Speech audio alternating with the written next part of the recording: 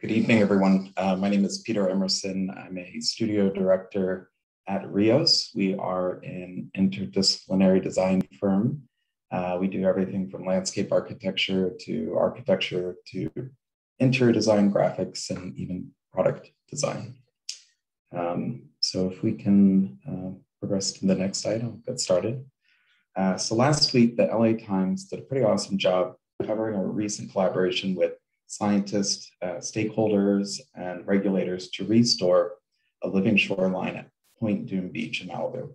If you didn't know, California beaches were once a mix of patchy, sandy, and vegetated dunes, and all of these were teeming with life and shifting around in dynamic ways. These were easily cultivated beaches, though, and Californians embraced doing so, resulting in, yes, the beautiful but also lifeless beaches that we know and love today. The really interesting thing about this project, though, is that the driver isn't ecological restoration. The driver is an immediate need to protect our infrastructure along the coast.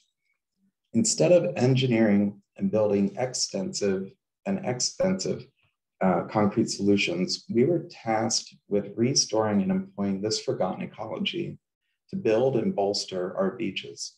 First off, here at Point Dume. Without a single piece of machinery, an ecological restoration methodology is being utilized to establish and encourage dunes to grow on their own. And for reference, this beach once grew 40 foot tall dunes. So this is how it works. We plant a handful of ecological engineers or really effective plants that pioneer dune restoration. They first grow on open beaches, then trap the sand in their masses and continue to grow with the dunes year after year.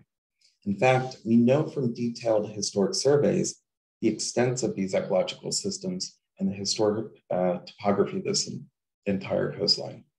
It's really as simple as that. We're starting by restoring this ecosystem along half a mile of beach for the cost of a couple nice cars.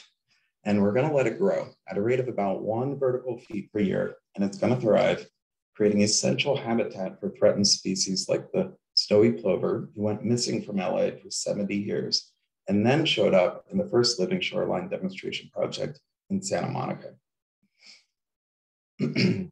so, where do we go from here? We're taking these same principles and heading to a community that built right on top of some of our region's most impressive uh, dune formations, Manhattan Beach. The, uh, the immediate emphasis here is a little different. It's to stitch back in these ecosystems and the biodiversity that goes along with them.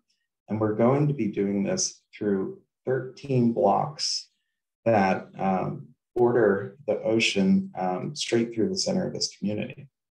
And in the process, we're going to create conditions that will naturally shape and protect the places we live and play.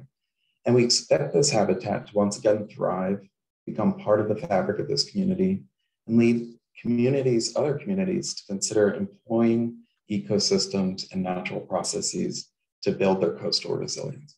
Thank you.